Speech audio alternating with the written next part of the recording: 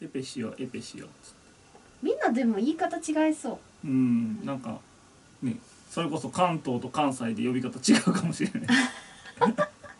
マックマクドみたいなね。そう今川焼きと大判焼きみたいな。ああそういうそういう感じで。このこの間鈴鹿市役所でイベントした時にはい。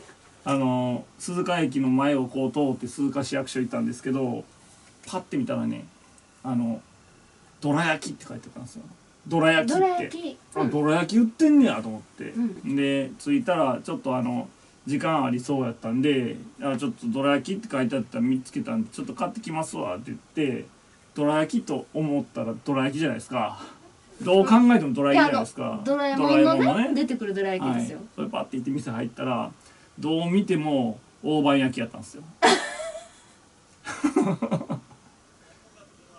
どこがドラやねんってただまあそのね鈴鹿市なのかそのお店がなのかわかんないですけどどら焼きって書いてあるんですよ。え待ってください待ってください、まあほらほらあのいろんなものを一緒に売ってるお店もあるじゃないですか。はいはいはい。だからだからどら焼きも売りつつ大判焼きみたいなものも売ってるみたいな、はい。ただそれしかなかった。専門店。どら焼き専門専門どら焼き専門店。もう買いに行って何にしますかとかじゃなくって何個にしますかって聞かれたんでもうそれしかない。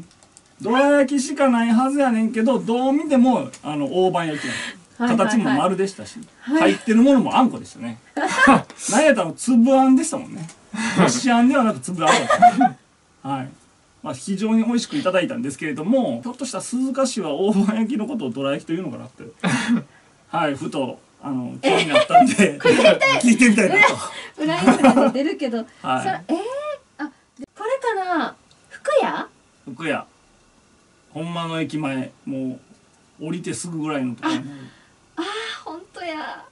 でえっ、とこの口コミなんですけど、口コミがどら焼きはてな。どら焼きはてな専門店。どら焼きはてな そんなんばっかり。全員やっぱ疑問に思うねそのそ瞬間ねで、うんどら焼きはてなまあ美味しければどうでもいいって そうそうそう。間そう違いない。同じ感想想っすね。間違い間ない。違いないな。全員そうなんや。よかった俺だけじゃなくて。ねどら焼きどら焼きっていうかああれにね、うんこしあんがあったらよかったのにねって。そう。そうこしあんがあったら私もよかった。よかった食べてないけど。こしあん好き。こしあん派とね粒あん派と分かれれますからね。どっかであのあんまんのこしあんないんかなと思って。あんまんのこしあん？えありますよ全然。あるでしょ。コンビニとかに。はい。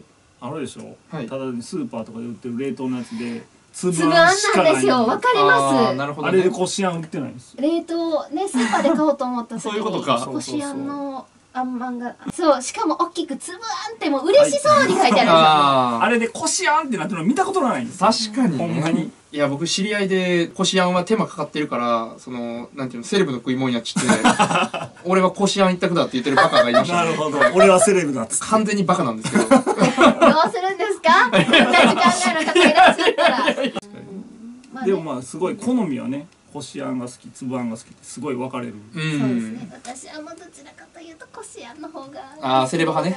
ねセレブ派ね。派ね。うんちょっとやっぱりセレブだから。どうしてもね。出ちゃう。出ちゃう。ね。出ちゃう。うんうん。仕方ない。なんか前すごい偏僻な村育ちみたいなこと言ってる。村じゃないですよ。違いますよね。解禁ですね。エーペックスもセロも関係ないぞ。そうですね。あほんまに。てねセロ縛りを解放された皆様よろしくお願いします セロ縛りで分かってくれる人かなりレベル高い本当ですよ Z していけるぞお前ら。あほんまっすね Z してね。昔悩まされて Z して。一番難しいバイオハザードですか？えっとねおグランドセフトオートか。そうですねグランドセフトグランドセフトグラセフグラセフ。あグラセフ。GTA ああのなんか街中で敵倒普通に歩いてる人バンって叩いたりできるやつね。ーいやマジシャンのセロはどっちやったっー 全部セロ全部もう一個欲しいな。マジシャン出てきたのもうもう一個ぐらい欲しかったな。もうないわセロ。ドラゴンボールは、ね。あセルかセルね。セルやったらセルね。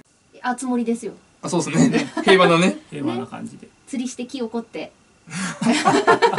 木を掘るって。木こりやからね。木をやる掘るは難しいな。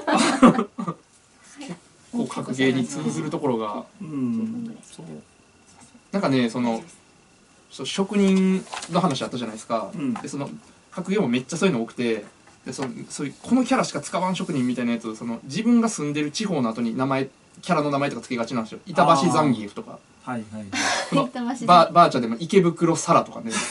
キャラの名前をもう自分の名前に入れてしまうっていう。そそうなんですよ。なんで僕エイペックスでもそういう人おったらいいのになとか思いながら聞いとったんですけど例えばちゃうかな。エイペックスでうんもうめっちゃ適当ですけどもなんかななんていうんですか？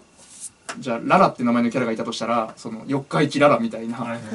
お店みたいやあ ほんまや。ララ。スクエアみたいな。ララスクエアスナックみたいな。キーボードだけ。あそうなんすか？黒のキーボードの中であそこだけ白い。へえいやあのそういうもものそういう仕様。ゲーミングノート PC なんでキーボードがここはこの色だけそこだけ白くなってる。へえゲーミング用のカスタムキーボード買おうかな。そしたらいい。この人この人ほんま真のゲーマーやな。いや違う違うですよね。違うんです。なんかそのキーボードもね自分でそう作れるから。きあうんキーキーえなんだっけ？キボタンボタンボタン、うん。そうそうそうそう。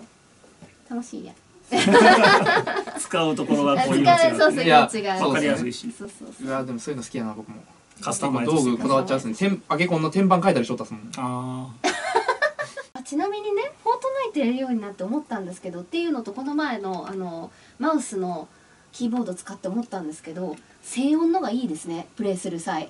カタカタいうより。ーいやあれ押し込む長さが浅いんですよ。浅いんですか？うん。なんかね2種類あってあ何ミリ何ミリ沈むやつともう2パターンぐらいあって浅い方なんですよ浅い方が言ったらすぐもうす押せる。ぐ押せる。ああ押し込む距離が短い。なるほど。数ミリの差やけど。